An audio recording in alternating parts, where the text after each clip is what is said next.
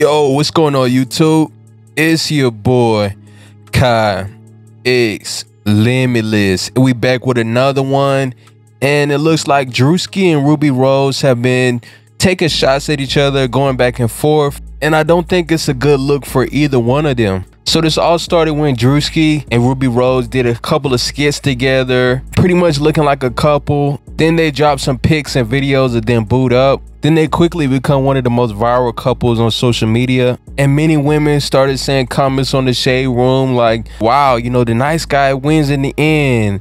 You know, uh, big guys are in, right? You know, women start to look at him differently because they see him with Rubi Rose, someone who a lot of these chicks actually look up to. And at first, a lot of people couldn't believe it until they started cranking out more and more content. You know, they're going on vacation. You see Rubi Rose, you know, trying to cook for Druski. They're laid up together, you know, started to become convincing for people and people stopped thinking it was fake. Until recently, Rubi Rose came out and said this. She said, and for the record, I never slept with that man. The ninja paid for PR, not the P U S S Y. Okay, that's very telling, right? Her comment right there means, okay, he didn't pay for the full package, right? Rubi Rose pretty much exposes herself as a woman who sells services. We'll just put it like that. And it looks like Druski didn't pay for the full service.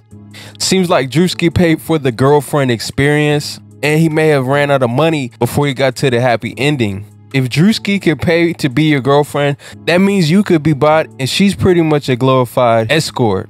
So let's talk about why Druski would potentially pay for this relationship. And I think it did temporarily work, right? If he did pay for this relationship, it went viral in the shade room.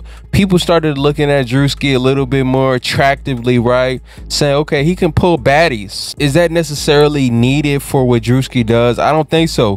To be a comedian, do you need to have the baddest chicks in the game? Not really. Maybe Druski was a rapper, being next to Rubi Rose could get you something. But I think Rubi Rose actually had more to gain out of this situation than Druski. Rubi Rose doesn't have a real talent besides looking good. Her music career isn't really doing nothing right now. On the other hand, Druski has all the potential in the world when it comes to stand-up comedy, television, even movies. So the sky's the limit when it comes to Druski's earning potential. And Rubi Rose is the kind of person that needs to stand next to a talented person to stay relevant.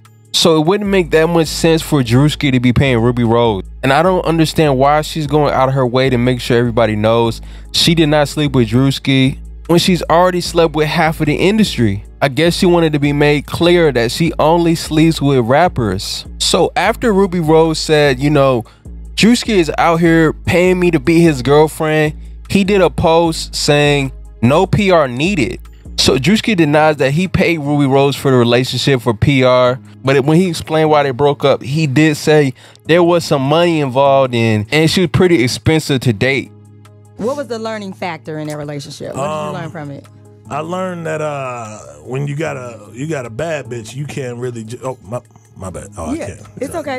Go ahead. So when you have a, a, a, beautiful woman, yeah, when you have a beautiful woman of that caliber, of that caliber, what happened? You know, it, it, comes with a lot, and I wasn't really. I, I don't know if I was prepared yet, mm-hmm. but I, I, learned a lot from it. So I think um, coming out of that, you know, you you better have them pockets ready. Oh, oh, so, yeah. so okay, so what is it? I ain't saying that's what happened. No, I'm saying so. I, I want to understand. So was it yeah. more financial when you deal with nah, a woman of that cal- yeah, caliber? but I think it's all you just got to be ready because you don't know when you gonna have to be pulling that wallet out. Oh, like if y'all go to a store, like you need to buy me this yeah, fifteen thousand Birkin. Yeah, you could be at a dinner and uh, she want all the expensive stuff on that on that menu. But learning what you what you know now, yeah, would you go after a woman of that uh, but yeah, no, nah, I think um, yeah, I, shit, I might even spend the block on this.